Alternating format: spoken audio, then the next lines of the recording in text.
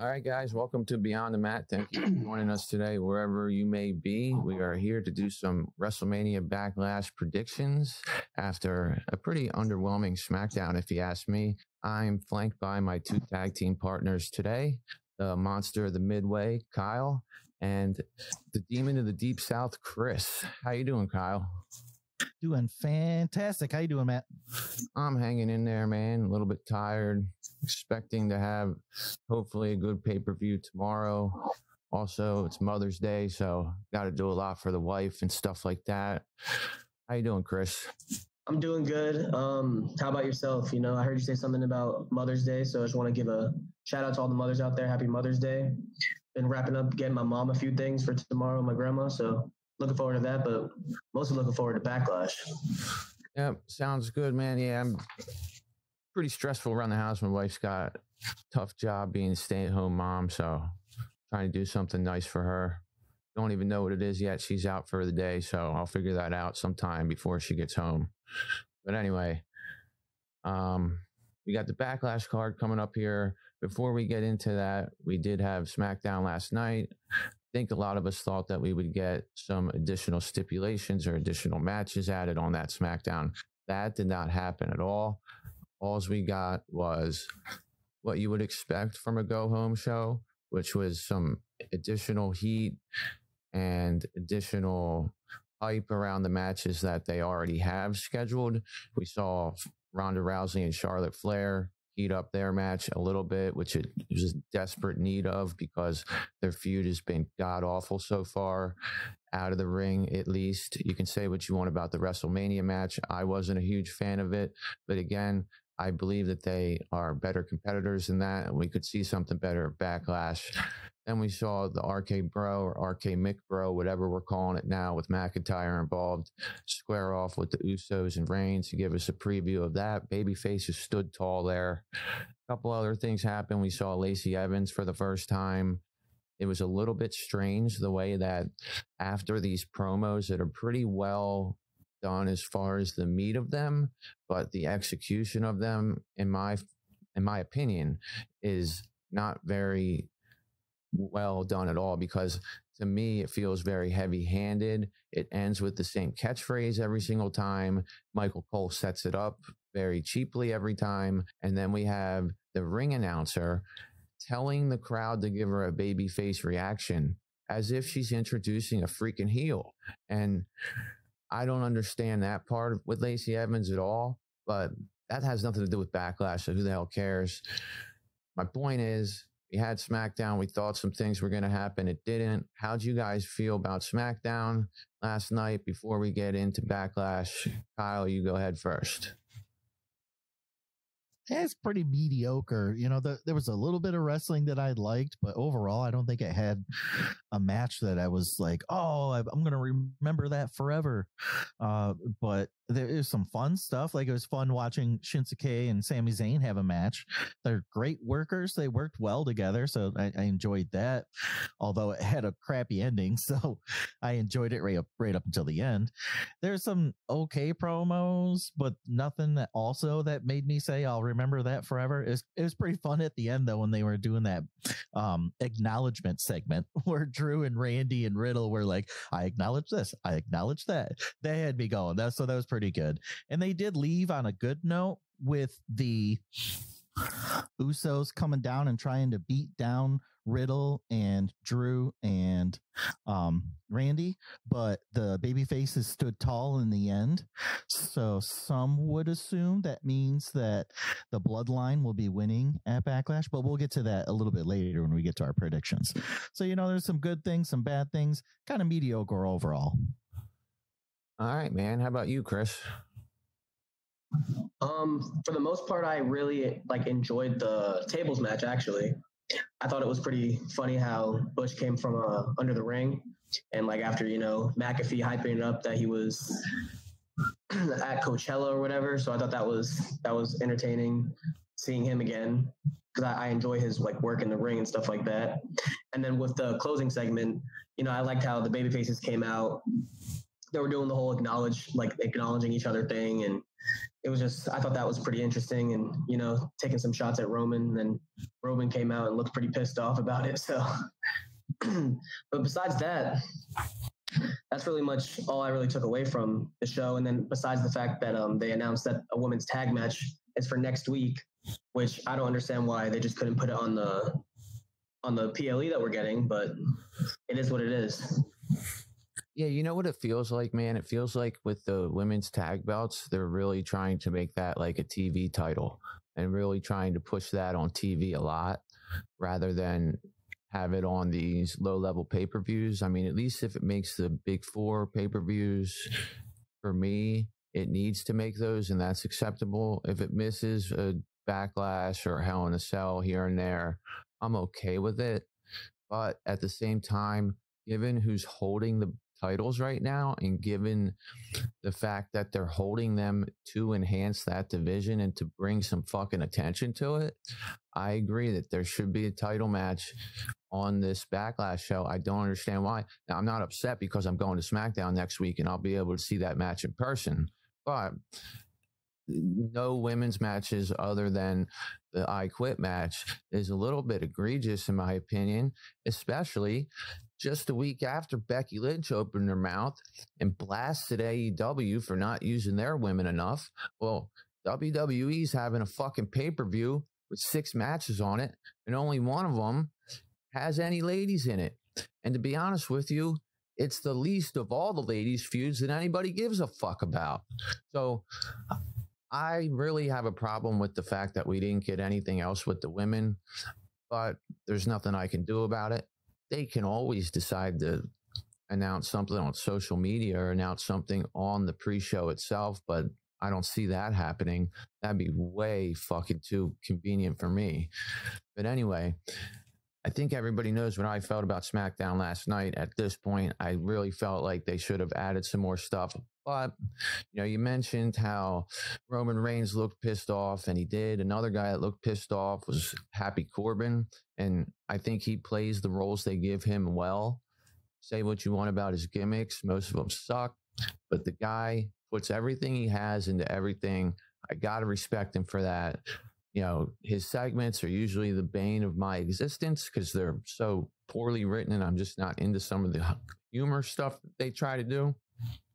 But I felt like Madcap and Happy Corbin had an interaction that made it feel like a fight should happen between the two of them because up to this point it just felt like two high school kids that didn't want to be friends for a couple weeks or something like that. And now it seems like somebody's really pissing somebody off. They still need to drop the madcap crap and they still need to move Happy Corbin into something else. And I think that's what they're going to be doing. But other than that, I don't have much else to say about SmackDown. I know the crowd there was pretty into it. I've spoken to a couple people who were at the Nassau Coliseum last night and they said that it was pretty good. They said that the crowd was hot, not like super hot, but pretty hot almost the whole time that they're in the stuff. So it's nice that those fans got a good show. But I felt like the SmackDown show itself was way like too poorly paced. We got so many recapping segments, not enough matches happening. Yeah, I counted them. There was 10 recap segments. 10. Only? I thought there was more. no, I'm talking about just recaps in general, uh, not like a recap of what already happened on the show. I meant like a recap of previous shows. I didn't count like when they do a a, a recap of what you just saw 10 minutes ago. Oh, because yeah, we would have went well into the 30s if you did that. Yeah, that's like 10 video recaps of Edge and AJ from three weeks ago. Yeah, I mean, it's just I I don't understand it, man. It's I, too much. I get it for the for people that don't tune in all the time, but I don't know. I don't even want to. I guess that's what you expect. Then you know, two nights before a premium live event, live event, you gotta gotta get everybody caught up to speed. This would be the time that I would expect this kind of stuff. I just hope that you know every other episode doesn't have that much recap, but they do. Yeah, I I do expect it at a go home show for them to recap a lot of things to remind people of things. That being said, on Backlash, we're going to see the same set of packages before every single match. Oh yeah. that's one of the reasons why I when I buy tickets to shows, if it's a go home show, I'm a little bit um, hesitant to buy the tickets because I know that the show's going to end up being a recap of everything that's happened up to then, and it's going to hamper their ability to have time to actually give me good wrestling or good segments or whatever. And so next week, I'm going to SmackDown after a premium live event. And of course, we're probably going to see oh, well, this happened on Backlash. We got to show you again, even though if you fucking bought a ticket to this event, I'm pretty sure you probably watch Backlash and don't need to see this, but we'll show you anyway. So I'll see all that crap, but I'll probably see more new shit than somebody who went to this show tonight saw. You know what I mean? Oh, yeah. Yeah. So anyway, let's get into the backlash card here. Did you guys feel like there's anything missing or anything should be added to it? Women's matches, like you said, there's only one. You've got several feuds that you could have had a match or at least something going on. I don't know. What's Bianca doing? Why I, give her a match, maybe a non-title match, but have her on there. Why not? What what about uh um what about Beyond, I'm sorry, uh, Becky and Asuka? They just started a feud. How come they're not on there? What about Rhea and Liv? They just started their feud, their program. Why aren't they on there? I, what about Sonya Deville and her tactics, her crappy tactics of using her power to try to get over? Like, th- there's so many possibilities in the women's division right now, and they only have one match. It just doesn't make sense. That's that's my biggest gripe with this whole backlash card. How about you, Chris? I think would have to be the fact that there's only one title match on a premium live event. That's just I think that's unacceptable. And not saying that everything has to be for a title. You know, I like things that are built up storyline wise and have like, you know, like a grudge match or a personal feud. But at the same time, it's like people that are paying decent amount of money to go to this live event, premium live event, and just one title match on the card is just kind of underwhelming, in my opinion. So that's what I have to say about it. Yeah, where's the U.S. title? Where's the Intercontinental title? I totally agree with you. Exactly. Where the fuck was even Ricochet? Period. Last night. He wasn't even Have on the they damn announced show. any uh, pre-show matches yet? No, I mean that's what I'm saying. We haven't heard anything about a pre-show match. It, I wouldn't put it past them to move one of the six matches that's on the card to the pre-show and only give them five fucking matches in the main actual live event, which is fine because we all know Edge and Styles are probably going to take up 35 minutes in their match, selling half of the time, and the Rhodes and Rollins match should take a lot of time. So you know, th- and, this isn't a big paper. And Lashley don't take a long time because if they do, I fear for Lashley's life. Well, if it takes a long time, that means that they're probably stretchering Lashley out of there after he gets his head busted against a turnbuckle by Omos or something, because I don't see any reason why that match should go more than 10 minutes. And I don't see any reason why Lashley should win either, to be honest with you, because if he wins, then what the hell's the point of him already have beating Omos? Oh, they might as well fire Omos. There's no mystique to him anymore. What's the point of him having this dickhead manager and MVP if it can't help him win a match? So, but we're getting into the card there. So, we all believe that it's a little bit lacking in the title picture and a little bit lacking for the ladies. a lot lacking. Yeah. So starting out here, let's just start out with one of the probably, I guess, the only title match on the card and the only ladies match on the card. We'll go ladies first. Flair and Rousey. You know, they've tried to use Gulak in here to get some heat. They've tried to do these beat the clock challenges, which are just stupid as hell because they don't make any sense and they make their opponent look terrible. They've done having Aliyah come out there with no entrance to SmackDown. They had her out there at 7:55 last night, standing there waiting for SmackDown to start. Didn't even give her a TV entrance. Had her basically take a cheap shot so Ronda Rousey could come out and get a babyface reaction, which was probably the biggest reaction I've seen for Rousey since the Royal Rumble. She's been an absolute robot behind the microphone. It's almost been disrespectful to Charlotte Flair that she's in a feud with somebody who won't even hold up their end of the bargain as a freaking babyface. I feel like Charlotte's really come out of this looking like she's had to carry it. I feel bad for her because, unlike a lot of people who I hear bash Charlotte, I think that she's really good. I think that she deserves better opponents in this. Now, people like Naomi, people like Sasha Banks, they deserve to be in the position that Rousey's in because they wouldn't be treating it this way. Now, we had them do the match at WrestleMania. Flair ended up winning after a ref bump distracted the ref from being able to see Charlotte tapping out. So we know that Ronda can make her tap out.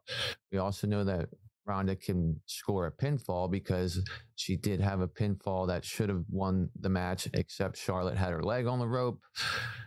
I feel like this is going to have a lot of weapons involved.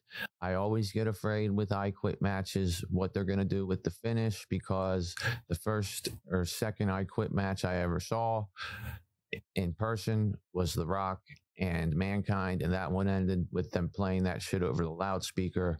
I really don't know where they're going with this. I'm starting to gain the feeling that Flair might actually go over here, but again, this is a feud that I can see going to the Hell in a Cell. But before I tell you my prediction, how do you feel about it, Kyle? Well, just a couple quick notes about what I saw on SmackDown, and then I'll give you my uh, prediction for the match. But I thought it was uh, really weird that we got almost a fight, almost a, a complete match without a pin or a, an ending between Charlotte and Ronda to open SmackDown. I mean, the match between Charlotte and Aliyah was you could say maybe a minute 30 seconds tops. And then Ronda comes in and they fight for about seven minutes. And they fight each other. They fight all the um referees or whatever you want to call them trying to pull them off of each other and nobody can stop these women from attacking each other and there's just mayhem and craziness going on in the ring. It was fun to watch but it was it was long. I was really surprised. And i i was assuming that because this is a championship match on um, on backlash that this might be our closer. Maybe they'll open with the six man tag team match that involves the Usos and RK Bro and uh, Drew McIntyre and Roman.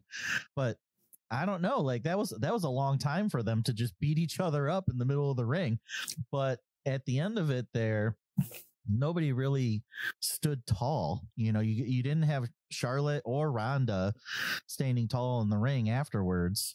So it's hard to decide who's going to win, but it seems like Ronda is going to be the person that takes this win because it's hard to assume that Ronda would say the words "I quit." You know, if you're trying to build this character of the, the baddest woman on earth, and and uh, she's a previous UFC fighter, uh, winning championships, by the way, in the UFC, not just a fighter, but you know the best.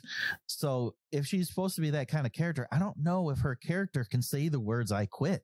I don't know if it's just built into her character. So I have Ronda winning this and taking the championship title from Charlotte, and then I think Charlotte's going to move on to Lacey Evans. But there was an interesting line I want to point out in SmackDown at the end during Lacey Evans' um, promo promo that she had. I believe she said something about um, winning the SmackDown Women's Champion uh, championship. So she might be trying to go after whoever the current title is, and if that's Ronda, then you'd have two baby faces going up against each other.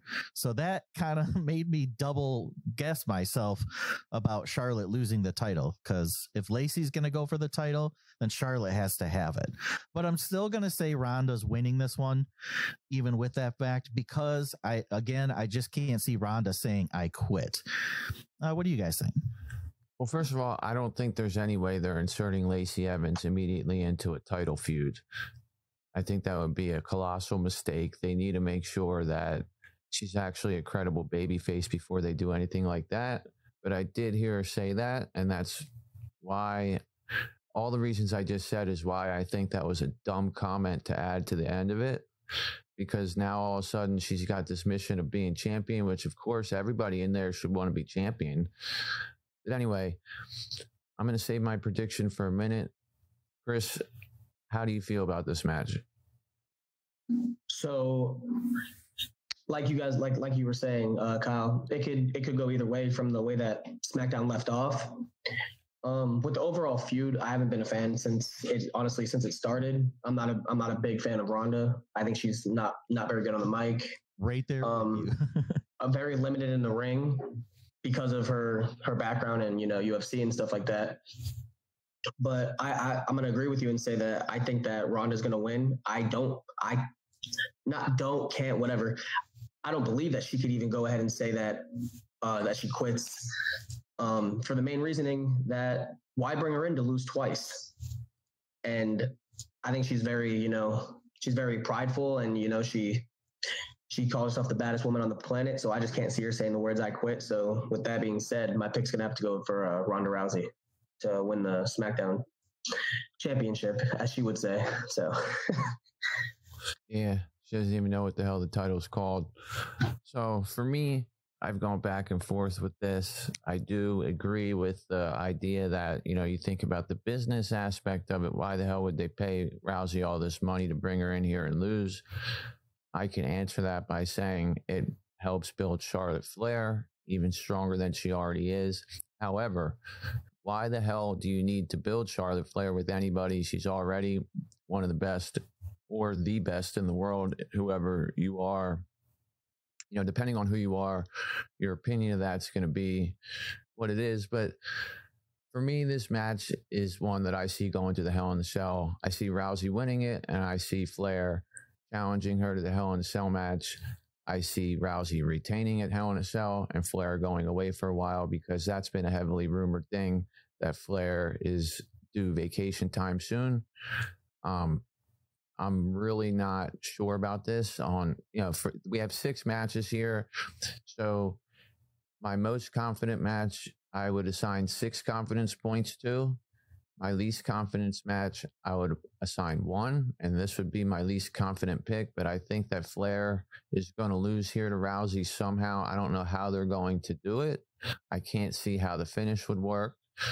I'm sure there's going to be lots of weapons involved. Uh, let me ask you guys do you think anybody's going to interfere? No, I don't think so. I, uh, I mean, there might be some shenanigans with Drew Gulak, but I don't. I wouldn't call it an interference per se. I think maybe Ronda wins because, uh, I don't know. Charlotte assumes that Drew doesn't hear her say I quit or something like that. I don't know. That's the only thing I can think of as far as involvement goes, but I don't think any other wrestlers are going to get involved. So you think Gulak somehow is going to get announced as the guest referee after all, maybe on the pre-show? I mean, I, I don't think guest referee. He might just be the timekeeper again.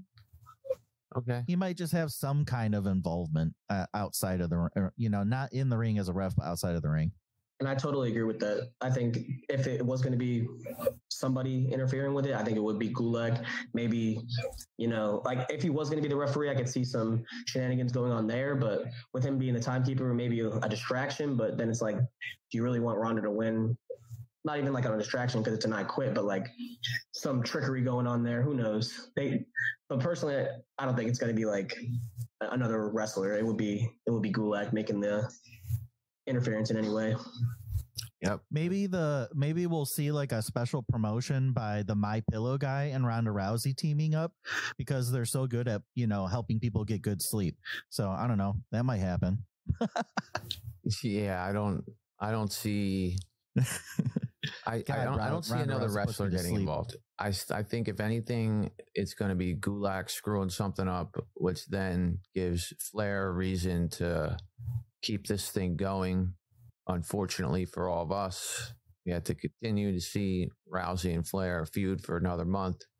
But I don't think it's out of the realm of possibility that Flair could win this match and Rousey could literally go home. I mean, you never know what decisions have been made within her own head and within the the company since they signed her, they may have signed her with one intention and pivoted to another. We've seen them pivot out of all kinds of shit. So who the hell knows? But we're all going with Rousey here. How many confidence points do each of you have on a scale of one to six for this one? Which one is the least confident? One. I'm a one. I'm a one I'm as sorry, well. I'm a I'm a two. A two is what I meant to say. I'll reserve my one for a different match. I, I'll, I'll, I'll go with. I'll stick with a two as well. I'll, I'll try to hold off on that one. Yeah, this is by far my least confident just by looking at it. So I'm going with the one. But yeah, that's how we do it to break the ties for the predictions, see who wins. In case we all pick the same shit or have the same matches right, we'll assign confidence points to each match. One being the least confident, six being the most confident. And it's always, you know, depending on how many matches are on the card, that's how many confidence points are the maximum. So you guys are saying two, I'm saying one. I think it'd be nice if we move on from this. You guys got anything else to say from Flair or Rousey? No, that's that wraps it up. yeah, I agree. All right. So we got the Colossus Omos taking on Bobby Lashley. Omos has recently been picked up by MVP as his new client. Lashley defeated Omos at WrestleMania in, I think, six minutes and 34 seconds. Do you see the match going more than that? Is my first question. My second question, obviously, is who is winning and who really benefits more from winning this? Because, in my opinion, Lashley does not benefit from winning this match. He's already beaten Omos.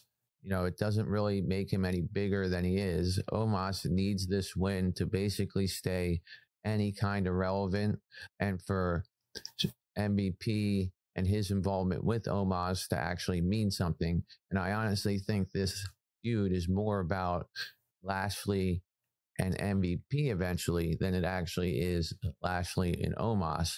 Omos is basically just serving as a surrogate for MVP to establish himself as that piece of shit manager that just talks shit and interferes and does all that stuff. And that's what I think is going to happen in this one.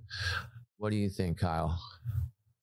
Yeah, I, on the similar lines, I feel like o- the only way that Omos can win this match is going to have to be involvement from MVP. And I just, the only reason I feel that is because that's kind of the story we've been fed. We, you had Omos as this unbeatable monster for such a long time with AJ. And then in comes Bobby Lashley and defeats him in six and a half minutes at WrestleMania, even with a possible concussion, because who knows what happened to Lashley after he got his head smacked on the back of the pole. But anyways, the the match itself is going to be probably a little bit longer this time, 8 to 9 minutes max, but I mean, uh, uh, Bobby's already won the first match and he already won the arm wrestling match. So I feel like the only way Omos can defeat him is with help. So I'm going to say MVP does get involved. I'm going to say that Omos gets the win because of this.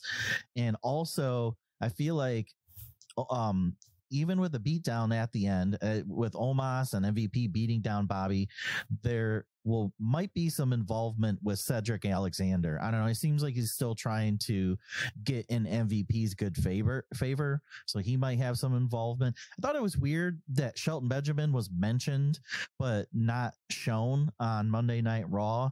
So there might be something there too. Who knows? Maybe the MVP and Omos is beating on Bobby Lashley on after the match, and in comes Shelton Benjamin to help Bobby Lashley. I don't know. It's possible. Uh, but my bold prediction would be that the MVP announces his return to the ring and his and actually wrestles matches after this and says, Omos, let me show you how it's done.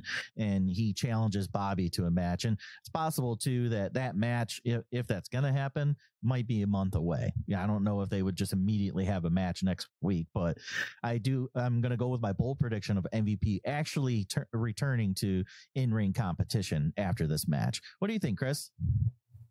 Um, with the overall feud, you know, the direction of it, it doesn't really make a lot of sense for Bobby Lashley. What else does he have to prove? You know, Omos was so unbeatable and just breaking down everybody and having all them squash matches and this and that for so long, and then having against an actual, you know, wrestler, and then see, seeing Bobby Lashley win a uh, Mania in six and a half minutes, it's like, where, where do we go from here? So it's like, do they bring MVP back, have him turn on Lashley?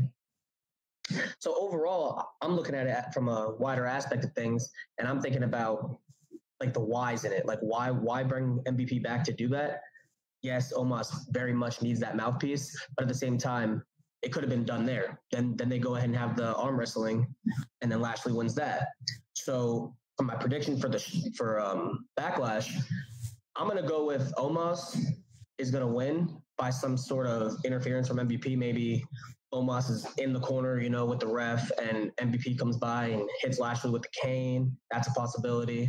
Cedric Alexander could get involved a little bit. That's another possibility. But overall, I think that uh, Omos is going to win this one, and then they'll have their third match, and then go on from there, and hopefully shake things up and change up this feud a little bit, and maybe you know MVP gets in there and has a match with Lashley because that's what most likely they're going to set up for. But down the line, I just want Lashley to get out of this feud already because I think it's it's getting stale, and this feud with MVP and him has only just begun. So that's what I have to say about it. What about you, Matt? Yeah, I totally agree with both of you. I believe that Omos is going to go over here. He needs to go over. It makes complete sense for him to go over here, and it's definitely going to involve interference by MVP in some sort of way. I like what Kyle was saying about Cedric Alexander. Real quick on Alexander and the Hurt business. Previously, when they actually had like the Hurt business with Lashley and MVP, there was a time where Alexander was tagging with Benjamin and then going to MVP and saying that Benjamin was the one bringing down the Hurt business in not so many words. But then, like the next week, they were tagging together again. So I don't know what they're teasing there or where they're going with that. But we've seen sort of some dissension with Alexander and Benjamin before. You know, like we just saw last week on Raw we had Cedric Alexander in there talking about how he can take care of stuff and Shelton Benjamin's not there to do whatever, get in his way. Um, so I don't know, man. I, I don't know if, if Alexander and Benjamin get involved here, but I definitely think MVP does. I think that that's what helps Omos win. I have this as the five for my confidence points. What do you guys have for confidence on this one, Kyle? I got it at a six. I'm I'm hundred percent confident Omos is going to take this win. Chris, um, five six five six. um, you know what? I'm going to go with a five as well. All righty. So the last question I have for both of you is that six minutes and 30 seconds approximately for WrestleMania over or under that time limit for this match? Oh, that's over. Yeah.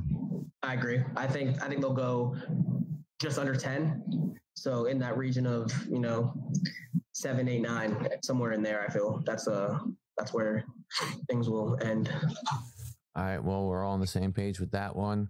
Um, the last thing I had to say about this is that, you know, with these guys that get the giant treatment and come out in their squash matches, just like Gunther's doing, just like Veer's doing, a lot of times the fans don't get to see on TV what these guys actually can do. I've seen Gunther wrestle Mansoor for 17 minutes and look like a freaking star. You were at a house show about a week ago, Chris, and saw Omos wrestle a match. Did he have any development beyond a squash match type of in ring skill set? Um, like I said, it, it, was a pretty, it was over 10 minute match, maybe under, just under 15. But, um, you know, he got, he got some offense in different maneuvers that I haven't seen him use before. But besides that, um, Reggie actually got some offense in on him and he was taking some hits. Reggie actually was like on his back at one point. Looked like he was trying to go for a sleeper and then, you know, almost ended up throwing him off. But besides that, I was, I was just shocked that he was actually taking a little bit of offense from Reggie. So that was interesting. Well, that's pretty cool that he was in there selling. That means that he can take offense from other guys and go down and not just stand there while people hit him and act like he's the Undertaker or something and it doesn't affect him. But um but yeah, I just wanted to see what was happening there behind the scenes with Omos if he's made any growth. Because like with a lot of guys like that, like Veer, you know, I've said this before, I've seen nothing different from Veer on TV than I've seen in dark matches or at house shows where there's no fucking camera on him. They have the opportunity for him to work on shit and he does nothing but no sell and squash everybody. But moving on from this shit, let's go to Corbin and Moss. You guys didn't have anything else on Omos and Lashley, did you? No, I just I, I mm. really want to see something with Cedric or Shelton. I, I feel like that just will add a nice dynamic to this because it is starting to get a little stale now. Well, yeah, them forming like some kind of new hurt business would definitely be pretty cool because they're not going to have Omos out there wrestling full matches every week. They need other players involved in that little crew that MVP's forming to be henchmen and do some bidding. So having Cedric and Shelton Benjamin would definitely be something interesting that I'd like to see. You got anything else on this one, Chris? Nah, besides uh, what you guys are saying with, you know, going ahead with um, Cedric and Shelton, seeing where that develops. But besides that, that's really all I have. Alrighty, so let's move on. We got a wrestling match here, and the first name of the two wrestlers involved is Happy and Madcap. Now, if you take their last names and you just say Corbin and Moss, it actually sounds like two fighters. If you say sounds happy, way cooler, if you way say, more interesting. Yeah, you say Happy and Madcap, it sounds like you're talking about a fucking sideshow at the circus. I mean, but separate from that, we had you know the turn on a happy talk segment a couple weeks ago the crowd was real happy to see corbin get turned on. That's more of what's i think happening here with madcap. It's less the crowd being in love with him and more the crowd hating corbin because he's so good at being hated. I think that overall here the wrestler that needs the win here to supplant himself in his role is Madcap Moss. We've seen not that great of a build to this match, other than some jealousy by Happy Corbin, and then a little bit of bold joke telling by Madcap Moss. Corbin takes credit for everything Madcap Moss ever accomplished. Madcap Moss doesn't like that. And Madcap Moss last night told a couple pretty good dad jokes on Corbin looked like he was pretty distraught and pissed off, almost to the point where he wanted to get rid of his gimmick. And the one thing I'll say about Corbin, other than what I already said, is that we went into WrestleMania with him and McIntyre. Everybody said this match is going to suck. The match ended up being pretty good for what it was, in my opinion. So I honestly think that Corbin will get the most out of Madcap in this match. What do you guys think? Well, I I think that Happy does need the push, but I think he can get the push with a loss. And I think the reason being is we already know Corbin's a, a, major heel. He's a major player as a heel. Nobody likes him.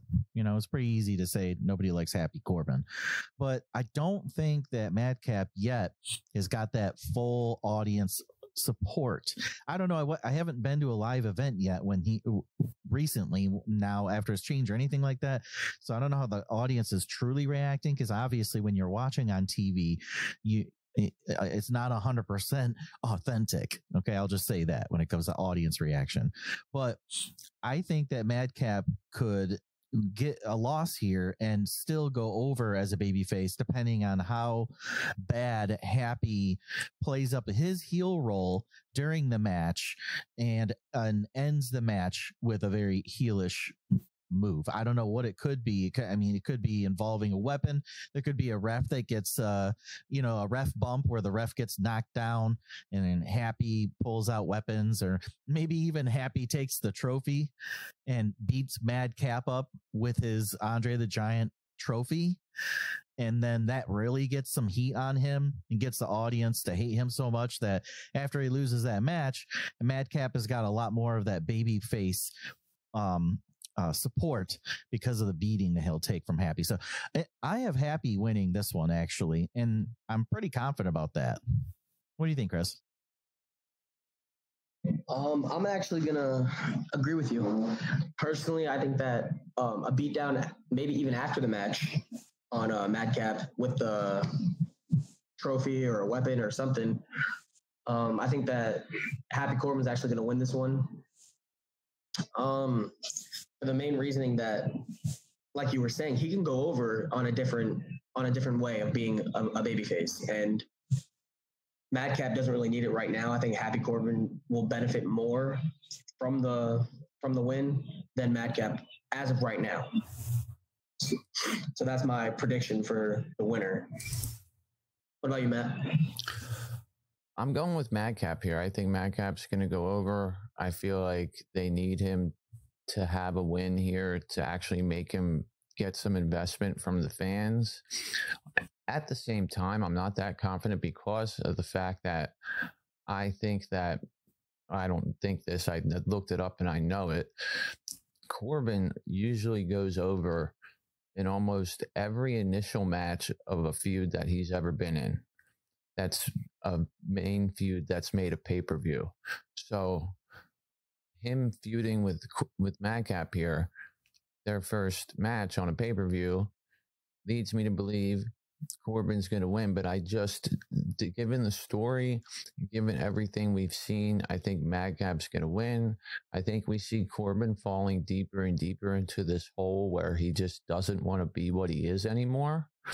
And that's what we saw him last night, where he just didn't even want to say anything back to Madcap. He didn't even want to lay fists on him.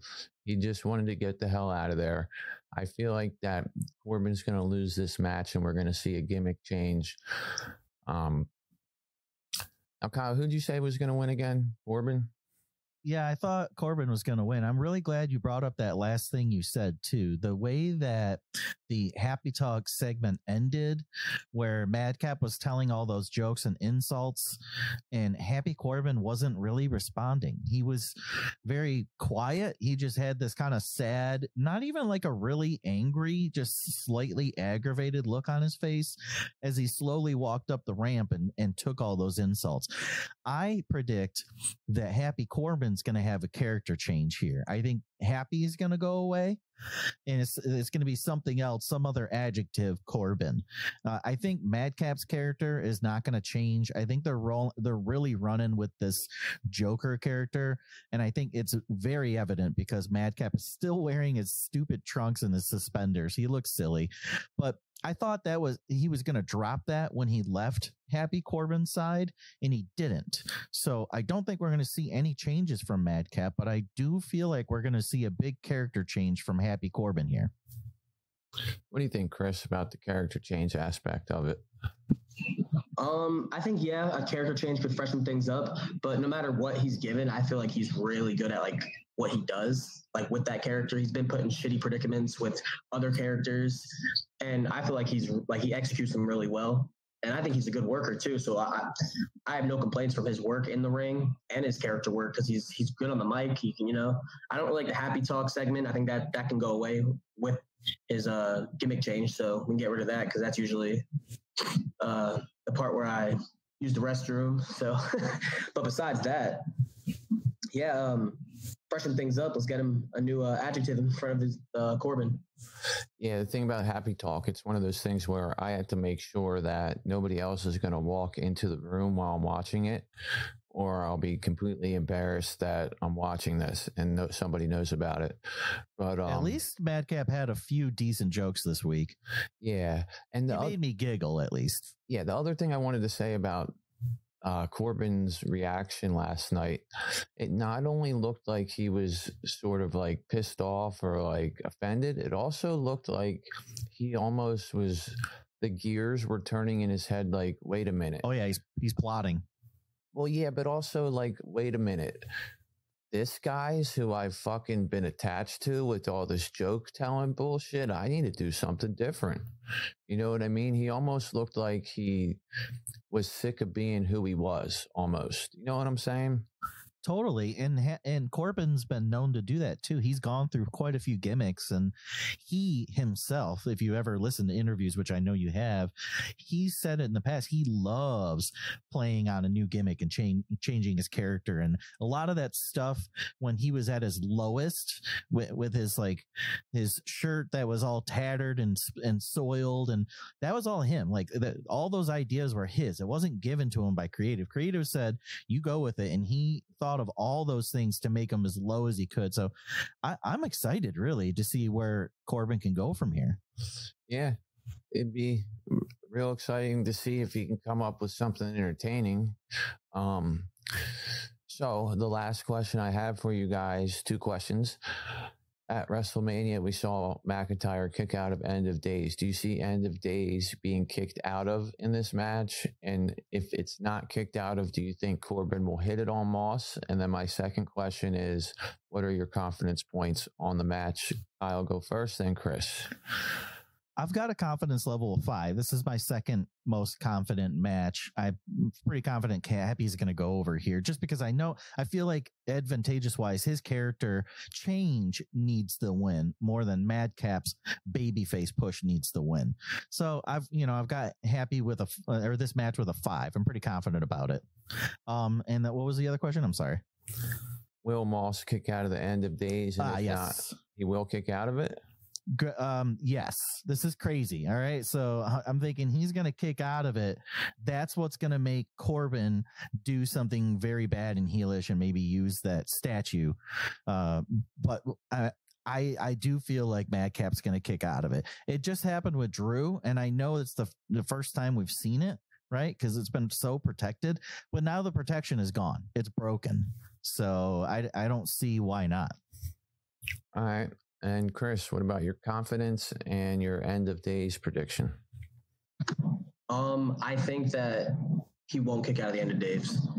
If you have a guy like Drew kick out of it, it's a little more believable. And it's like I know they're I know they're really pushing and trying to uh, build up uh, Madcap Moss, but at the same time, I don't think they want to like ruin the fact that how protected it was for for so long. So um, with that being said, I think that's it. That's how he wins it. Maybe hits him with something first and turns around, gets him with the end of days, and, then for the one, two, three. And my confidence level for this one is a six. I think that Happy Corbin like needs to win for this gimmick change and character change. And we can see that maybe progress during the match. You know, as his attitude and stuff like that changes during the match. All righty. Makes sense, man. My confidence for this one is a four. Um, I do not think Moss is kicking out of the end of days. If Corbin hits that, then my prediction is wrong. I think that having Drew McIntyre kick out of the end of days is something that you do for Drew McIntyre because he's a top guy and you're heating him up here to face Roman Reigns. I think they knew that ultimately, whether it was right now, three months from now, at the UK show next WrestleMania that they were always going to have McIntyre in some position for Roman Reigns and giving him that kick out of a very protected finish was a way to have him heated up a little bit and look stronger. And with finishes like that that are so protected, they're not going to have somebody kick out of it unless it's somebody that's either already established as very strong or that they're trying to present as very strong. And I think Madcap is not somebody they're trying to present as very strong. They're just trying to get him over as a baby face in that sort of comedy humor role, which I don't see changing until Madcap reaches a point where he's in the main event conversation, if he ever reaches that point, because there's no reason to not have him as a comedy act if you're a writer.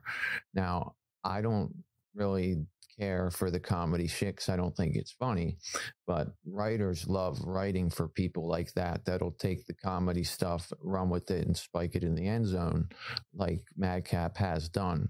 So they'll continue to do this until Madcap is so over that they have to stop. So my final thoughts on that one is Moss is going to go over here somehow. Confidence is four on it. You guys are both saying Corbin. Anything else on this one before we move on? I would just add that I think on paper it doesn't look that exciting of a match between these two, but I feel like it's actually going to be surprisingly really good match. About you, Chris? I think the same. I think this is like the most unpredictable way that the match could turn out. So I don't like, like I, I think that um, Happy's going to win, but I think the match is going to go back and forth a lot, and they can put on uh, a good match. Yeah, I totally agree with both of you. I think that we haven't seen that much of Madcap in the ring with somebody who's strong. You know, his matches have been with basically people that were jobbing for him. And when we see Corbin in the ring with anybody, it's usually a pretty good fucking match. So I think Corbin's going to do a good job in this match, guiding Madcap making them both look great regardless who wins. I think even if Moss loses this match, he will go over more than he already has. Because, like we always say, Kyle, it's not about who goes over, it's about who gets over, and you can get over without going yep. over. So, yep, Madcap certainly can get over here without going over if they have a match that's actually worth fucking watching. Cause I think that's a lot of fans hang up on Moss is that the in ring shit's not there. And the out of ring shit is borderline insufferable sometimes. But yeah, and that's why psychology is so important. Not to belabor this conversation, but just in ring psychology will lead you to um, the story and the and the character development that you need, not the win or loss of a match. So, eh, you know, as long as Happy and Madcap are telling the right story in there, you can get somebody over without going over. And, if nobody knows what I mean by in ring psychology, just look it up online and there's plenty of definitions out there, but it's really just how the wrestlers are telling a story as they're doing the wrestling moves, what their faces are saying during the match, what, what their different moves mean. Are they doing babyface things? Are they doing heel things? So like all of that can lead to the result you want. It's not necessarily the result of the match that will, that will, that will define the story. So yeah, psychology is super important here. All right, man. Speaking of psychology, we got two guys who like to wrestle with some in ring psychology Edge and AJ Styles.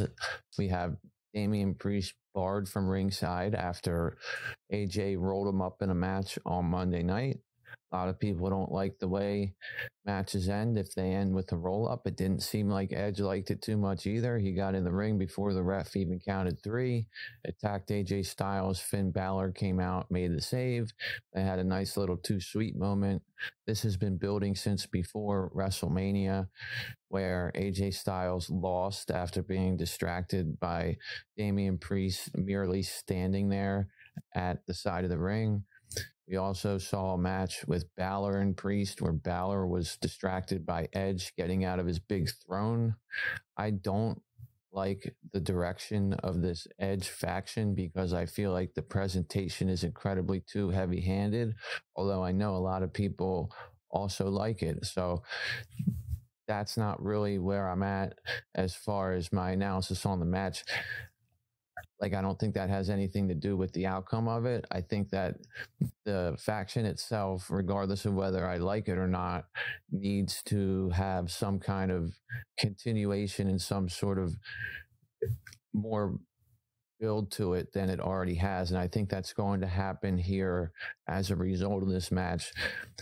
I don't think that Edge is going to win the match. I think that AJ Styles is going to win the match, but I think he's going to take some serious punishment after the match for winning it by whoever the next member of the Judgment Day faction is. I don't see this match being a quick one. I think this is going to take a lot of time, a lot of in ring psychology, like Kyle was talking about. That's the way Edge likes his matches to be. Edge is given a lot of latitude with what he can do in the ring. I can see this being like a 26 minute match, plotting, slow. The story here has been that AJ has an injured shoulder. Can he hit the phenomenal forearm to finish off Edge? I don't know. What do you think, Kyle? There's a lot of possibilities with what could happen during this match and after the match. As far, I'll give you my um, prediction real quick. I think a- Edge is going to win this one. Actually, I'm going to differ from you. I think Edge is going to get this win over AJ, and they're going to have one more match to get AJ the win, and it's going to feel that much better once AJ finally beats Edge. But I think what's going to happen here is some kind of um, distraction again but it's not going to be Damian, of course, because Damian cannot be ringside. He's been barred from ringside. So I think we're going to see the third member of Edge's faction Judgment Day show up here during this match and it's going to distract AJ again and AJ is going to lose again and then the third and then uh, what I think might happen too is that we might have a run in fest which is I love I don't know about you but I'm old school. I love run in fests when you just have a bunch of people running in and saving each other. So you know after Edge gets this win with a distraction from this other person, um, which I haven't named who it could be, but this other person and Edge beat down AJ, and then in comes Balor to save AJ again, and it's going to give a huge pop from the crowd. We all want to see it. He already saved him once, so we know they're friends, and he, the two of them are going to fight off AJ and this other person, and then because the match is over, then you're going to have um, Damian come in and then the numbers are going to go into the heels favor where Damian Edge and this third person are going to outnumber AJ and Finn. And then possibly the three of them stand tall in the middle of the ring and there's going to be purple lights and then we're going to see Judgment Day get bigger. Now, as the third person, I think the most obvious thing that everybody's assuming would be Ciampa here. Ciampa's been changed to a heel with his introduction to WWE main roster because he's been attacking Ali um, um, after the matches that Ali's been having. So, and that's Mustafa Ali, excuse me, just to clarify. And so that we all know Ciampa's doing this sort of thing. It's possible that he's the person that comes in and distracts AJ here. It could be other people though. My my mind goes in a lot of different directions when I think of factions because I don't feel like you have to necessarily visually fit a faction in order to join it. You know, like Ciampa visually fits. He he would look the part as far as joining Judgment Day, but it could be anybody really that feels like they've been run down down or, you know, they're downtrodden, you know, somebody that's been down on their luck. It could be a lot of different people. Personally, I'd, I'd like to see something crazy like Jinder Mahal. I mean, Jinder Mahal's been like floundering for how long now? He keeps trying to get his way into different championship runs and different feuds, but he really doesn't have anything going. Plus, you got Shanky who just broke up with him, if you want to call it that. They're not going to be together anymore. They're not friends. Shanky's uh, going babyface though. Yeah, exactly. So Shanky goes babyface. So Jinder Mahal is still a heel. Jinder Mahal could join. I know it's really crazy to think of that, but uh, I really think outside of the box here, and it could be something crazy like Cedric Alexander too, who you know is trying to get back in with MVP, but MVP is you know not necessarily letting him back in. So it could be a lot of different people people, but I I think for sure that the ending is going to be an Edge win. I, I just feel pretty confident about that. But I'd love to hear your thoughts, Chris, because Matt and I differ on who's going to win. What do you think? Um, the winner, I'm gonna say I think Edge is going to win. Um, I think it's going to be some. The third member is going to show up, and it could be Ciampa. That's what that's what I'm going to go with for now. I think it is going to be Ciampa. That's going to show up. Um, lights might flicker out. Stand up, or he's going to be right there under the like not under the ring, but to the side of the ring, just like how at Mania. Which I hated that finish. I was th- when I was there. I I was like, what the hell? You know, they had a great match. I feel like, and it got ruined by the finish. Um, but yeah, I'm I'm not, I'm not really too much of a big fan of like the whole lights and the whole, you know, purple, like the purple light thing and the whole darker side of things. But man, Edge can work with anything and anything that's thrown to him. And I feel like he has a big like creative control on this more than other superstars, especially with who he is. You know, he takes whatever it is and he's gonna go out there and cut the best promo of the night, in my opinion. I think he's amazing on the mic, and he has been for years now.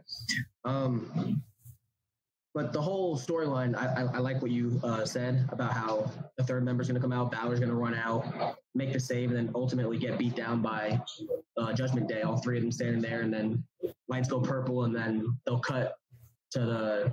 Probably, they'll probably cut right after that to the next match and have the promo set up for the match or whatever, or the preview. I mean, to the next match, and that's how we'll go about the show into the next match. But overall, I have Edge winning this one, and then the third match maybe gets finished inside the cell, so no one can actually, you know, get in or out. Even though we've seen before on top of the cell spots and this and that. But yeah, besides that, I got Edge go. I got Edge uh, going over on this one. Yeah, that makes a lot of sense. I like your Hell in a Cell connection there. Yeah, I was thinking that this is a match that could end up going to the Hell in a Cell as well.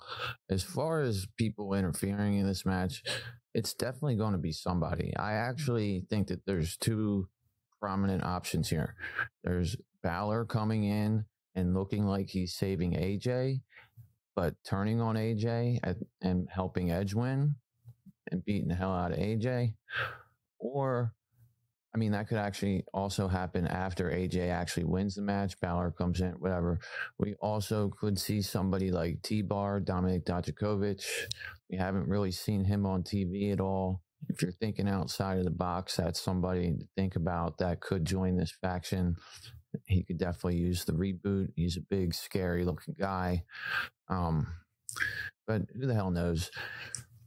The Finn Balor T bar is a good possibility. I like that. Yeah, the T bar thing and the Finn Balor thing are the two things that sort of stick out in my head because if they don't do something with Balor turning on AJ and joining Edge, then Finn Balor and AJ Styles better be joining up to reunite the Bullet Club shit and do some tag matches because I don't understand why they did that two sweet teas on Monday.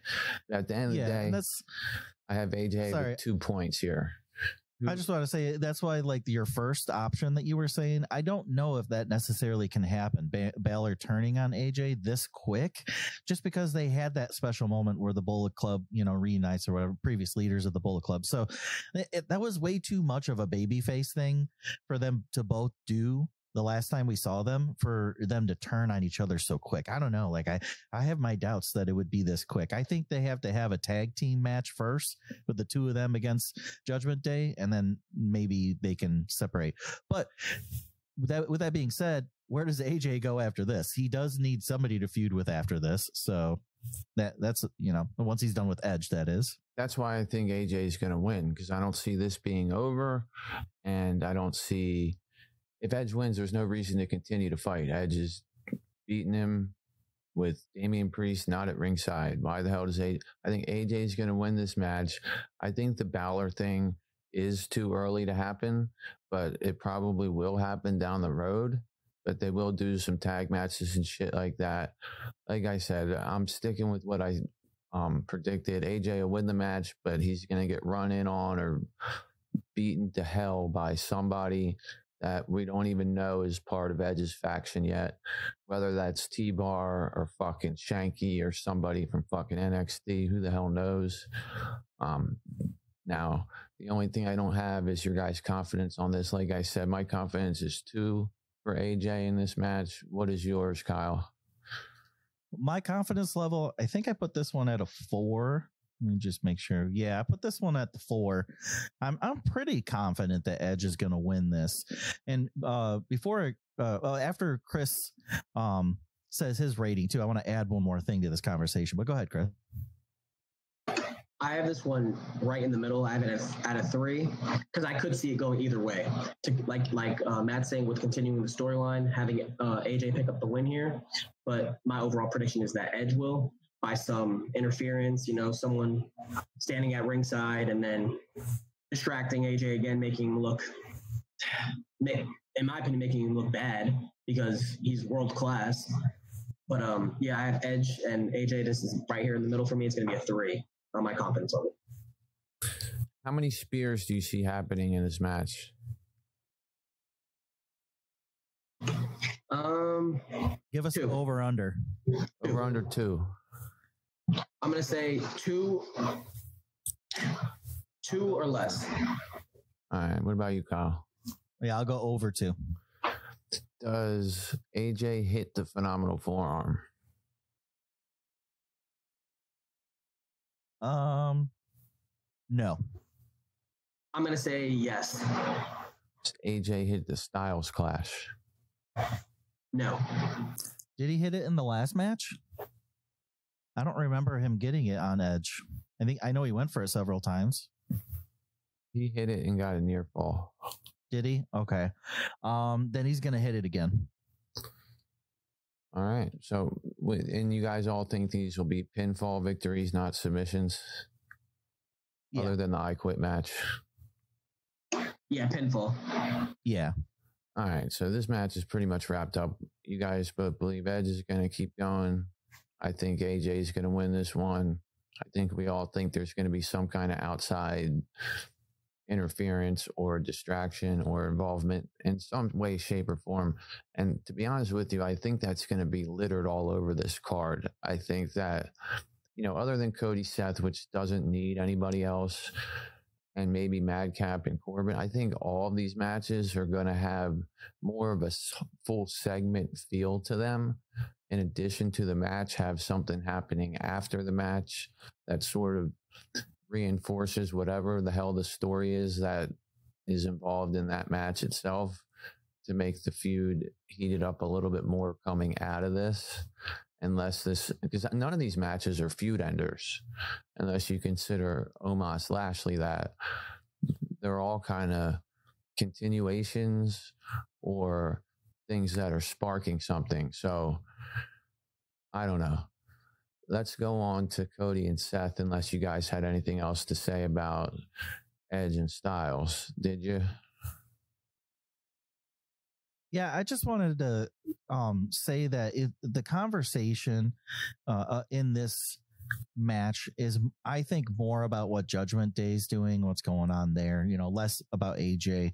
And I find it interesting that uh, there's so many different options as far as who might be the next to join Judgment Day. But I feel like the main question you have to ask yourself would be who really needs the help from Edge and who doesn't really have a character that is developed enough. And I think that's why Damian was great for it. And, you know, my guesses of like Jinder is kind of crazy because Jinder Mahal doesn't really need the help, I guess. It doesn't really need a character development or anything like that. You know, a lot of people are saying Rhea might join them.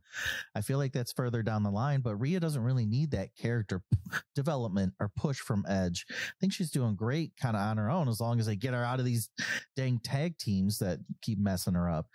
But what I saw last episode too, I want to point out is Doudrop and Nikki Ash had an interaction. It was nice to see Doudrop. And I'll be honest with you, I'd love to see Doudrop join Judgment Day. I think she would fit into that group perfectly. She would be sweet. I, I think she could use the character development, the character change, and the push and the rub from Edge. She's getting zero um rub right now from anybody. So Well, I just wanted to add that as a possibility that I would like to see personally. well, Doudrop and Nikki ASH seem like they're both changing gimmicks here. I think that was what that scene was all about. And Nikki Cross, which was Nikki ASH's old character for anybody who didn't know that, um, was like sort of a psychotic, you know, off the chains woman. So that gimmick, Yeah. if they're, they're not going to go back to that gimmick alone because they just don't do that. They evolve things. They don't go back in time and bring things back, um, especially these days. So I think that we can see a batter ass style of Nikki ASH in whatever name they decide to give her. And we could see obviously Doudrop's already sort of trying to present herself as a badass, wearing the leather jacket and being a heel, but she her name doesn't, you know, work. And just No, our music either doesn't or work the for that. music, right? So it, they just need to repackage both of them, and they both could fit in that. I think I agree that the overall, you know, overwhelming, most important thing about this feud is, you know, extending Edge's career here, having the faction that he's running, allowing him to do this stuff that he wants to do with his creative control. And I'm fine with that. I, I like everything Edge has done his entire career. I just don't feel like we need the magic stuff from him because he's it's beneath him. And I also think that sometimes in these promos he goes for the cheap heat where he doesn't need to. He's so well spoken behind the mic that he could do a promo without doing the cheap heat that people have heard a million times and still boo at. But at the end of the day, I still think that because it is something that we're trying to build Judgment Day with, I think that AJ is going to win the match to continue it, but get his ass kicked by the third member of Judgment Day at the end of this match. That's just my prediction. I don't know, but I think that that kind of checks all the boxes. It allows the feud to keep going. It builds Judgment Day up. It lets you know that even if you beat them in a match, they're still going to beat the shit out of you. It lets you know that even if you keep Damian Priest out, you never know who Edge already fucking uh, recruited, if you will. So I don't know like I said, I'm not that confident. I only have two confident points on it. But unless you guys have anything else to add, let's go to Cody and Seth here. Um, there's not much for me to add. This one speaks for itself. It's going to be probably the best match on the card. Two of the best wrestlers in the world right now. Seth Rollins acting as the gatekeeper for WWE. Cody, we all know his mission is to be WWE champion one day. Cody beat Seth at WrestleMania in his WWE re debut. He's been doing a great job as the lead babyface on Raw. Lashley's actually a lead babyface, but he's paired with Omos, so it's like who cares? Uh, so anyway, Cody and Seth here. Seth loses the match at WrestleMania, blames it on the fact that he wasn't prepared, thinks that he'll have a better chance this time being prepared. Going home from Raw, Cody hit the Cody cutter on Rollins, and then that sent Rollins out of the ring. Cody stood tall going home. They've been working house shows almost every dark match since WrestleMania. This is going to be a good match. Even if you have high expectations, it'll probably exceed them. What do you think about it, Kyle? I'm a little um iffy on the winner of this one. My, confidence level is pretty much down the middle. I guess I'm giving you my rating early, but I got a three on it. I, I, could go either way, in my opinion. I, there, I am super excited to see this match, though. I loved the WrestleMania match, I love both of these wrestlers. I love both of their characters. I love that Cody Rhodes took his um, American Nightmare character from AEW and just transferred it over to WWE. I'm I'm very grateful for that because I actually liked that character in AEW and I think it works better over here in WWE. So that I'm loving it. And Seth freaking Rollins is my favorite wrestler. I believe I've said it plenty of times, but he's my favorite WWE superstar. And uh, I I love every match that he's in. They can give me this match five times. I'd be happy. You can give me this match six times. I'd I'd like all six of them probably. I I enjoy it a lot. They they do have great chemistry too. I feel like the two of them do in that WrestleMania match. They had a lot of instant chemistry. Like right off the bat, they were feeling each other out, and they and they had a lot of good communication, and they had a lot of monster moves. Like they were throwing some really high risk, um, dangerous and difficult to execute moves right at WrestleMania. So I would expect a step up. Both of these guys are step up guys too. Cody Rhodes and Seth frickin' Rollins will not do the same thing twice and they will not do one thing worse uh, after the uh, the other. So they're going to step it up. This is going to be a great match and I think I'm just going to I'm going with Cody Rhodes as far as my prediction. I think Cody's going to win this one. It's going to continue Seth frickin' Rollins's um, aggression towards Cody, and he's going to demand one more match with Cody. And I think also it's going to be a good possible. It's a good possibility to be a Hell in a Cell match coming up. So, and plus Seth frickin' Rollins is like born to do Hell in a Cell matches. Him and Edge, I think, are my favorite Hell in a Cell, um, and maybe Under Undertaker. But I, I love those. Better say people. Undertaker. well, Undertaker is like my favorite wrestler of all time. Same. But uh, Seth Freaking Rollins is my favorite current, and I think as, as active wrestlers, he's the best when it comes to Hell in a Cell. Edge, I would give it to as well, but I think Edge has lost an edge, and um, he's he's just not as aggressive as he used to be, which is more required in a Hell in a Cell match. So I see this continuing on with a Cody Rhodes win. Uh, of course, it would make sense to have Seth freaking Rollins win because Cody won the first one.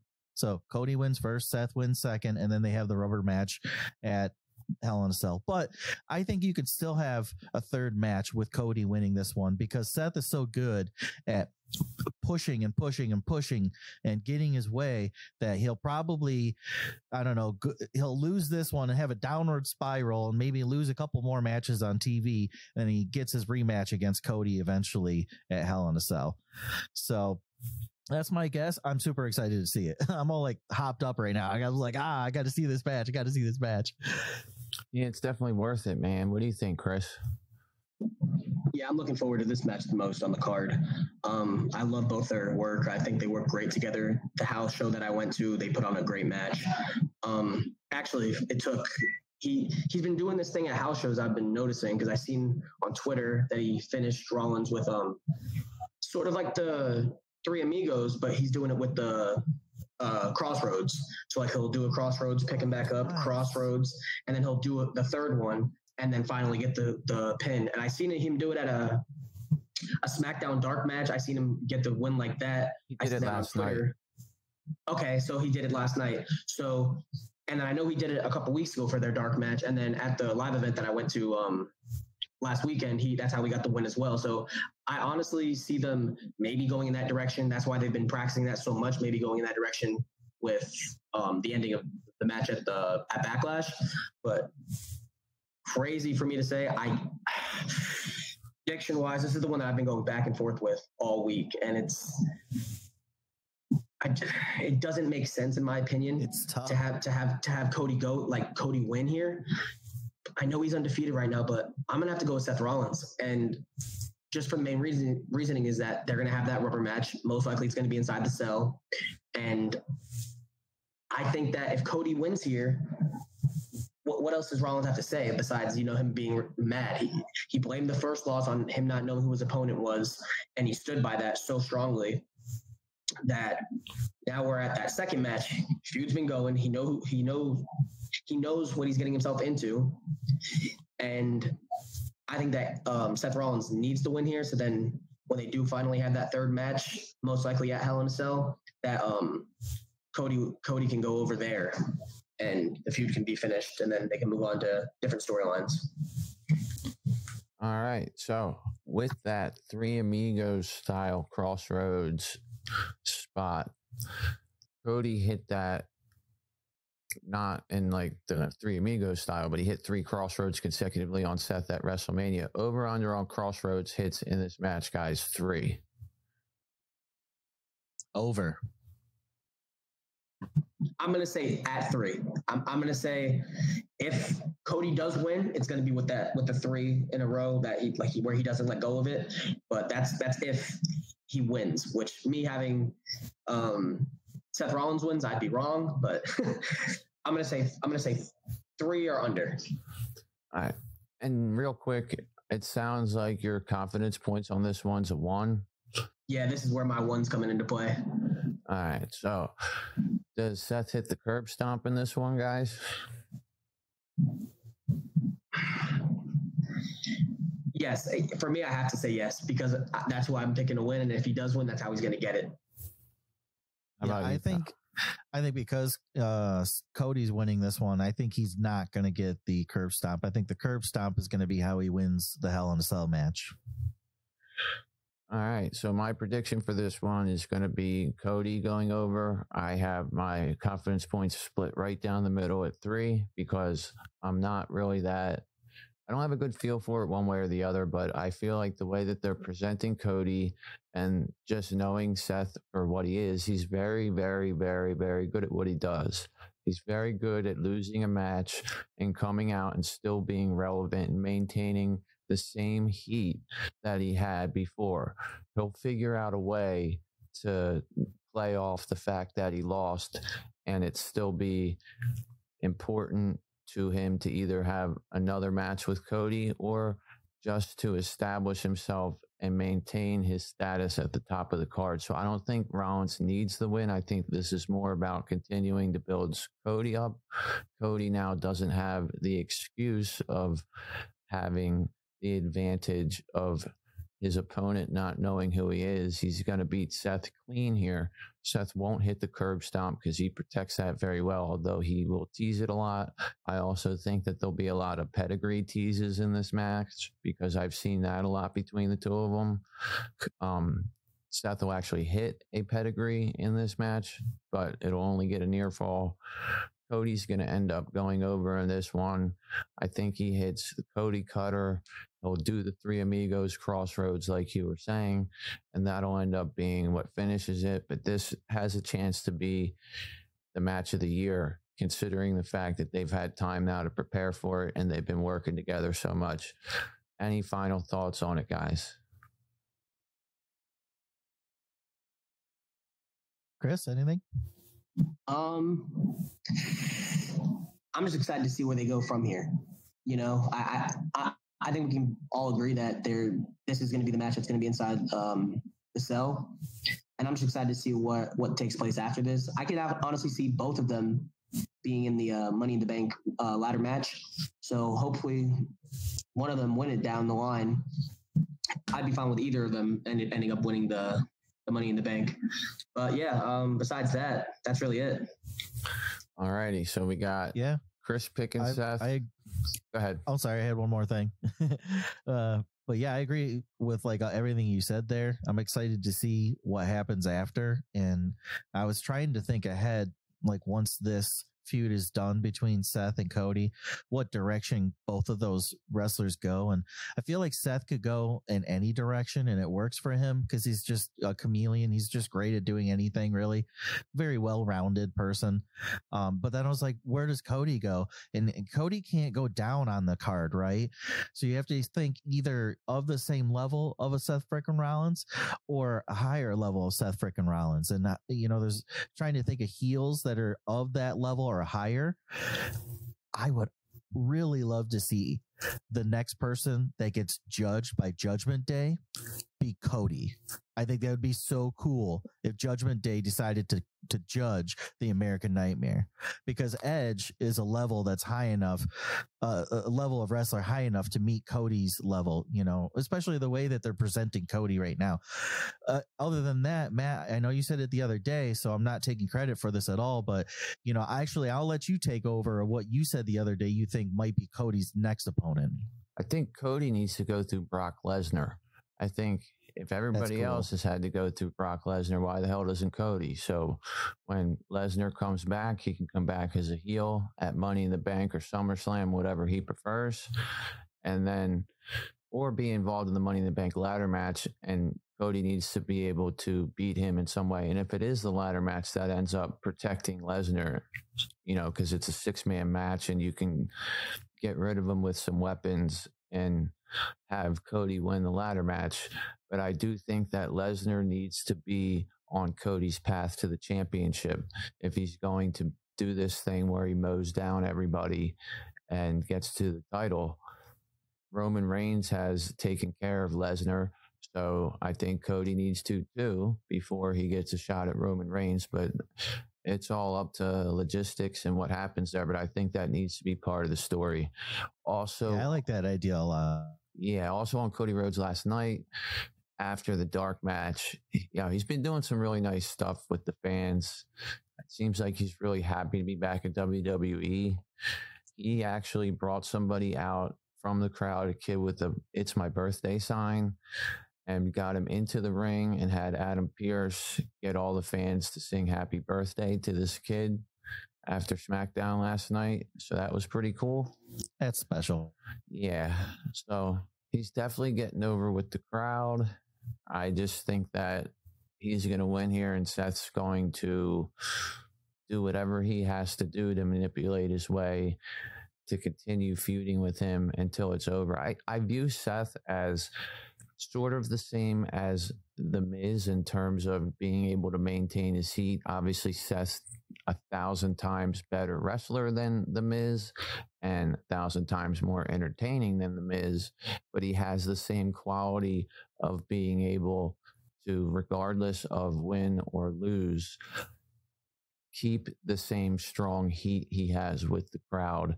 And that's what makes him so great. So that's where I'm going. Yeah, they're like one. your your gatekeepers of the of the different cards. You know, like you, Seth frickin' Rollins is your top of the card gatekeeper, and the Miz is the mid card gatekeeper, and you know Dolph Ziggler is now the NXT gatekeeper. yeah, exactly. Now speaking of top of the card, we got a main event here loaded with guys at the top of the card. We got RK Bro teaming up with Drew McIntyre, calling themselves briefly RK McBro. They will be taking on the Usos and Roman Reigns in a six man tag match with no stipulations attached to it, no titles on the line. Initially, this was supposed to be the Usos versus RK Bro in a tag team unification match. There's been some news articles saying that that was never the direction. They were always going to swerve away from it.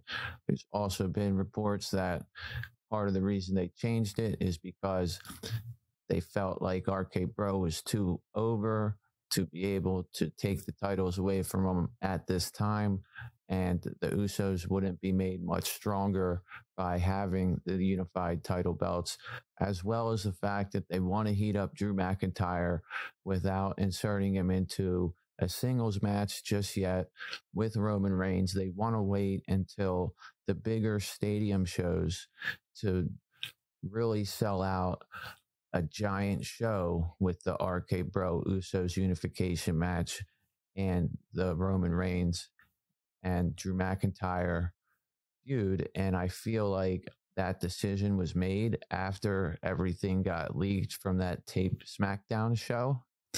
And they added a lot of segments taped to that show when they aired it. And that's when they changed their mind to make this a six man. I don't think that they knew where they were going when they taped it before they went to the UK regardless of that, we have no stipulations. I still think that at the end of the day, we're going to get a good match because we have six of the best guys in WWE. I think the least talented, or at least the least that I kind of am behind in this match is probably Jimmy Uso, but he's part of one of the best tag teams I've ever seen. So it's going to be a good match. They're probably not going to have Roman tagging in that much. He might do some in the beginning and then get out of the match and eventually take a hot tag. This is a hard match to call, to be honest with you. But what do you guys think about it? Uh, starting with Kyle. Yeah, this is my this is my least predictable match of the whole card. I have no idea because you know why? Because we have zero build.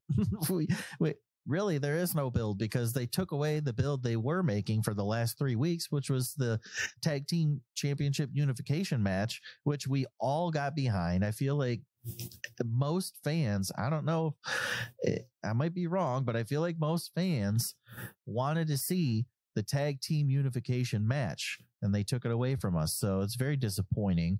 I feel like a lot of people feel that have the same sentiment and have the same feeling as me. But it, it just makes it very unpredictable because now there's no there's nothing on the line so I don't know what they're fighting for, essentially, for bragging rights. Um, and I don't know what the involvement of Drew and Roman's going to do for this match because this is the first time they've had them involved. So yeah, extremely unpredictable. I, I like all six of the people that are involved they're some of my favorite wrestlers or you know roman reigns we the one i love the usos i like all the stuff that they do i rk bro is very over on me randy orton's great and i think riddle's fun too I think Riddle's really come into his own and his character's really solidified now. So I'm I'm happy about that. And he and he's really strong in promos nowadays too. Although he did like mess up at the beginning of his last promo. He messed up like the first word or two or something like that. But um yeah, it, Drew McIntyre needs some some help getting that push to fight Roman Reigns, and they're not there yet. So I guess it, it makes sense to do this six man tag team match. It makes sense, but it feels just rushed and inserted at the wrong time.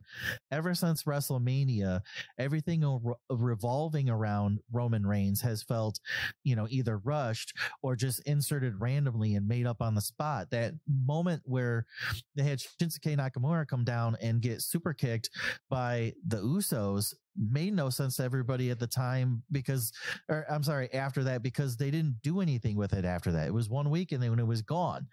And I'm glad that they reminded us of it on on Friday night SmackDown, and there was a really nice moment where Shin, during Shinsuke's uh, entrance, he looked over at Pat Cole or Pat Cole, Pat um, McAfee, and Ma- Pat McAfee was still dancing on his announcer desk like he does during the Boogs entrance, and that was nice. That was a really nice moment, but that's the only thing that we've had referenced for that kick to, Shin- to Shinsuke's face. So that doesn't make any sense. And then on top of that, you have Roman Reigns holding two titles for both brands, Raw and SmackDown. And I get it if you can't have him defend the titles all the time or have a match on both shows every single week, but I want to see him on a, in a in a significant amount on both shows at least. If you're going to have him travel and be there, like have him do more than just say watch me on SmackDown that's ridiculous. No, build a story. Tell me something new. You you you're gonna ha- you're gonna advertise Roman Reigns during an entire episode. Say Roman Reigns is gonna say something at the end of this episode, and then he gets to his promo and he says, "Watch me on the next show." Uh uh-uh, uh, that's that's bullshit. So, like, I this build has been horrible. Well, it, it breaks my freaking heart. Man. Well, look, that, my heart. That's the whole fucking thing. They have a build to, you know, evidently the biggest WrestleMania match ever. Roman Reigns wins the match in 10 minutes. Now he's the biggest champion ever, according to them have nothing planned for him whatsoever after fucking WrestleMania. Then you got Nakamura coming out. He gets super kicked off the face of the earth. And then they don't even address that for five fucking weeks. While all of us are like, could it be Shinsuke? Could it be this? Could it be? First of all, they should have had somebody ready made and, and to go for this. It's the number one guy in the fucking company who just became the biggest champion ever. So there better be somebody ready for him. And now you got the Nakamura stuff, which was totally misleading. And they seem like they just remembered that that even happened this week, having him back there saying that he hates the bloodline or whatever. And then the one thing I did like about it was I really liked the way that um, Sami Zayn was being a rat and his interaction with um, Heyman and all that was pretty hilarious. But other than that, it's like, what the fuck? What, where is the emphasis on your titles? I understand that there's a lot of people coming up. There's a lot of character changes, a lot of new stories that they had to start at the WrestleMania, but it's your main fucking united, unified champion. What the fuck? Yeah. What is your top tier? What is your top of the card doing on Raw? They don't have a championship I'll, to fight over. I'll tell you what so he's what the doing. hell are they doing? It- KO's fucking around with Ezekiel.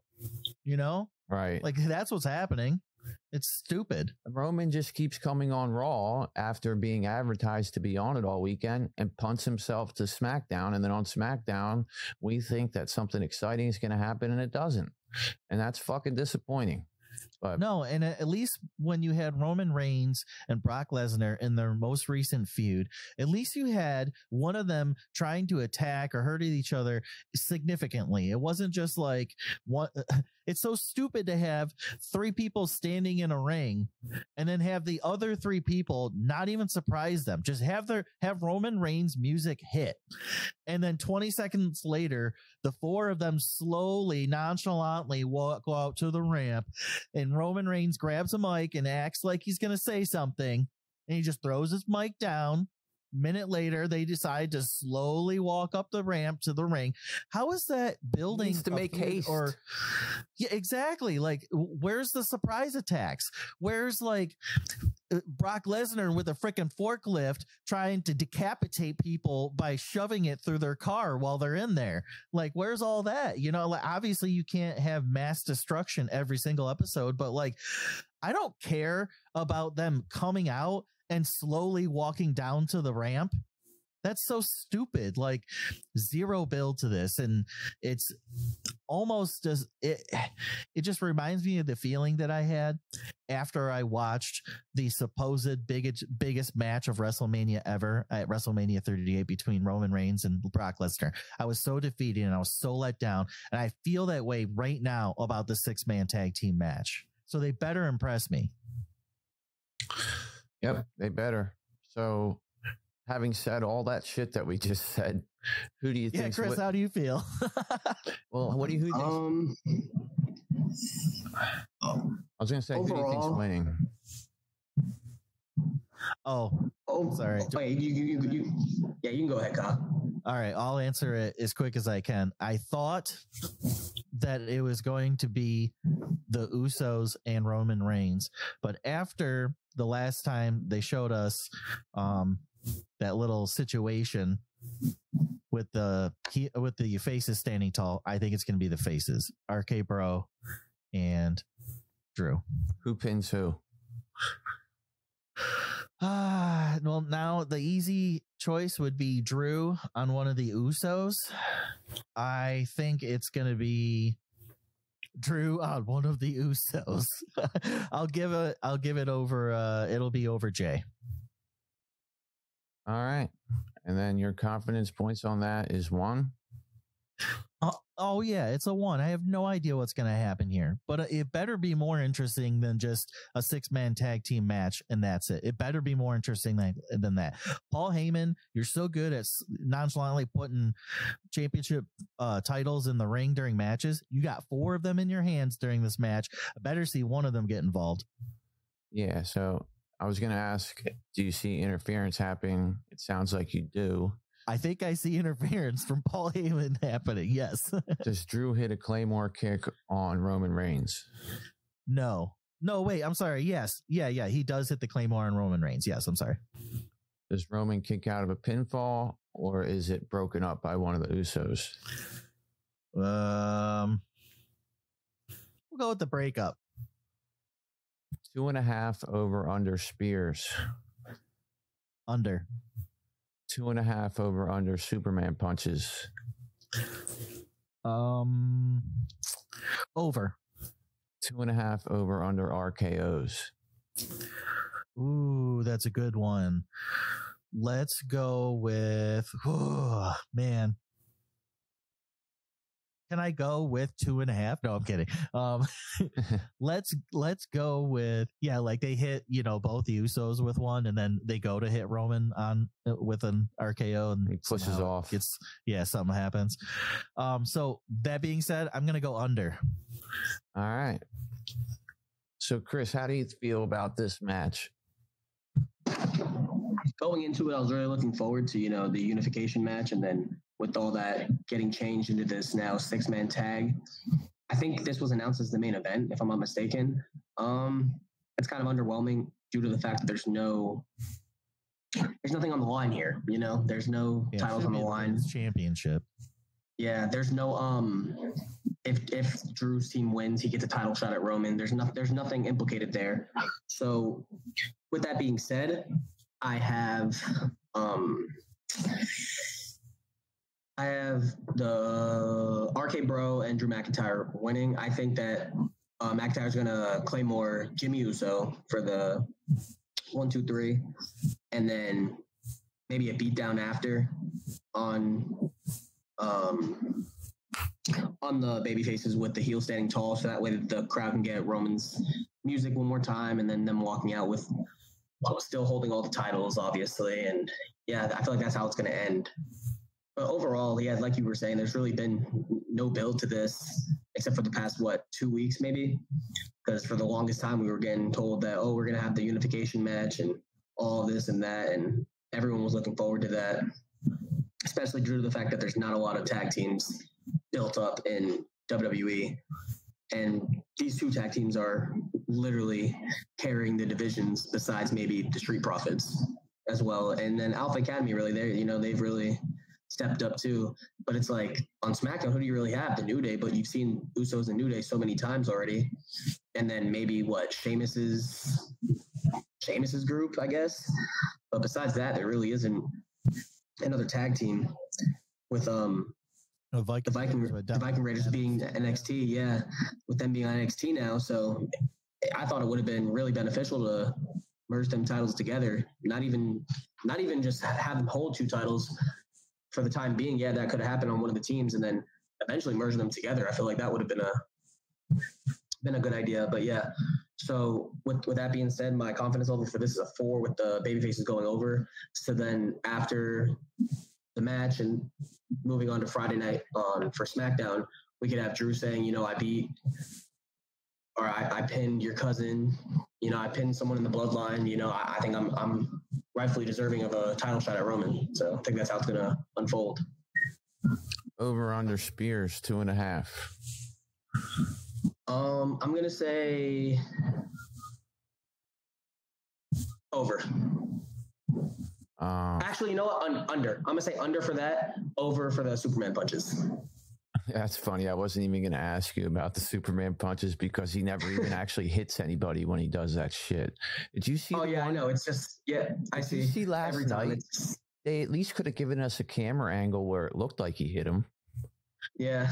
The one last night was like, oh my god, uh, like he he didn't come close.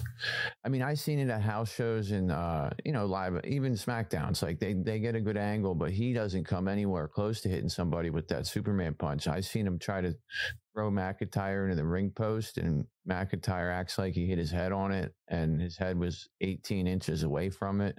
But it's funny sometimes when they don't get you know, real snug on something and have to sell it when you see it live. And you're like, man, they're probably pissed that they didn't hit that one better, you know?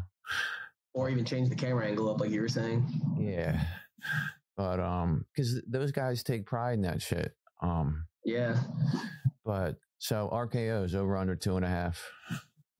Um, I'm gonna say under. I'm gonna say two. I'm gonna say they get they get them on the Usos, and then they, they don't hit one on Roman.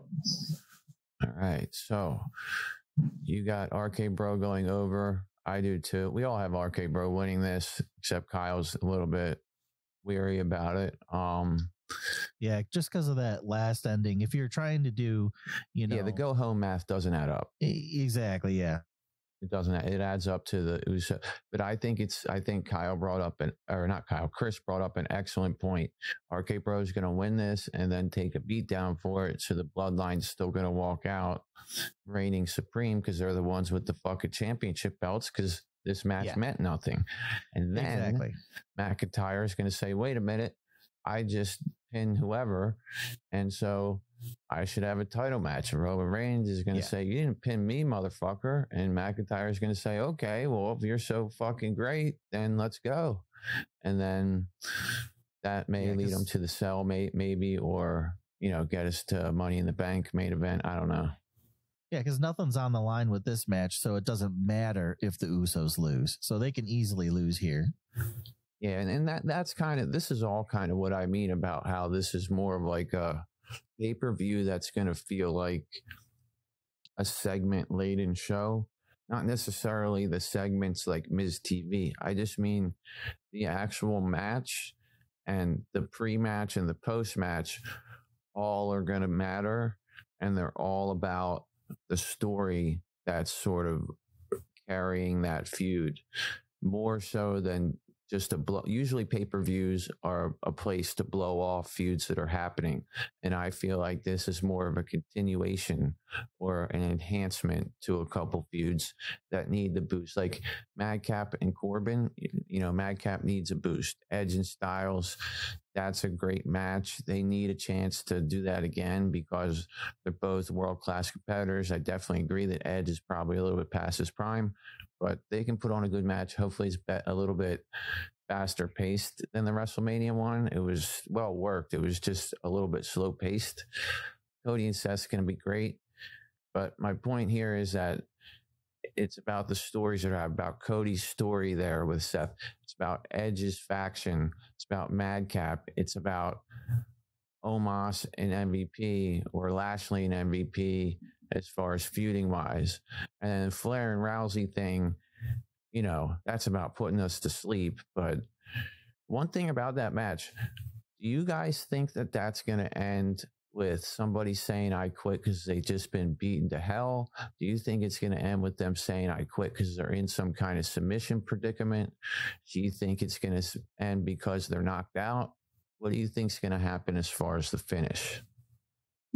I think it's going to go with the um with Charlotte in the ankle lock that Rousey just acquired to remove set. I think that's how it's going to end. Maybe even have like a maybe a chair involved, you know, and has the ankle with the chair in it and doing it like that. Maybe I can see it going like that, and then uh, Charlotte saying I quit there.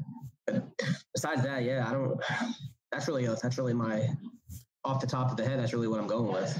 And you definitely think Charlotte's saying I quit. You don't think whoever is relaying the message mishears her or anything. You think it's a clean I quit finish.